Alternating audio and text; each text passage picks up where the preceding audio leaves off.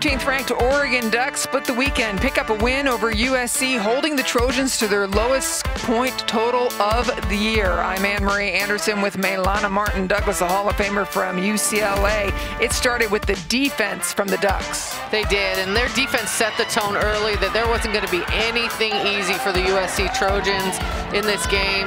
They were just aggressive. They shot the passing lanes. They didn't make it easy to pass to each one of their teammates, and they really were aggressive in the pick and rolls, and it created offense for them and opportunities, as well as energy and confidence. Yeah, eight steals for the Ducks today, really created a lot of trouble. Of course, it was wonderful to see Pili back out there. As always, she put up 14 points for Alyssa Pili. Yeah, Pili always dependable, strong inside. We got to see a lot of the different things that make her so great. Offensive rebounds, able to shoot the little baseline jumper. She had a couple threes, finding her teammates. See all the versatility for Alyssa Pili, but it just wasn't enough.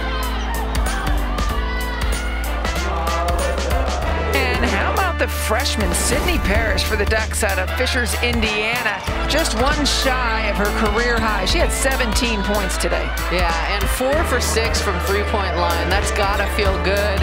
And you know, just did a nice job of sharing the basketball as well. She didn't force anything. She shot the ball when she was open, but she also went to the basket hard and finished well. And Erin Boley, she was really the big star of tonight. She just brought the juice from the beginning, just knew what this team needed, brought it defensively, brought it offensively, was able to knock down jumpers, hit her teammates, just that all-around game that the Oregon Ducks needed.